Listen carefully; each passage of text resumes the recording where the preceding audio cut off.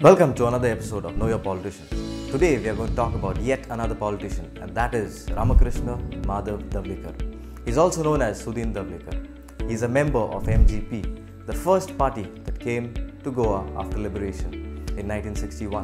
Sudin Dhavalikar is trying to get the party back to its original glory which used to dominate in the earlier days post Goa's liberation. त्याने जायते त्रास काढून पार्टीक अजून पासून जिवी दवरल्या जायते पार्टी सोडून गेले पूण आज पासून सुदीन धावलेकरान पार्टीची बुन्याद हालोवंक दिवंक ना. सुदीन दवलेकरान आपलें मुळावें शिकप आल्मेडा हायस्कूल पोंडा हांगा केलें. आनी फुडें शिकपाक तो श्रीमती पार्वतीबाई चोगले कॉलेजांत गेलो आनी थंय ताणें बी एस सी केली.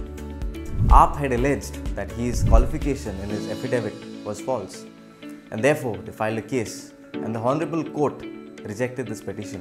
Sudin Dhavalikar Madkai मतदारसंघात पांच फावटी निवडून आयलो. आणि वेगवेगळ्या गव्हर्मेंटां बरोबर ताणें वेगवेगळीं पदां सांबाळ्ळीं that includes PWD Ministry, Transport Ministry, River Navigation. In 2014, he made a statement that bikinis should be banned on Goan beaches. And because of this, he faced a lot of opposition.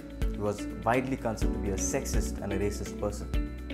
In 2016, he was thrown out of the Parsekar government because of his outspoken nature against the BJP.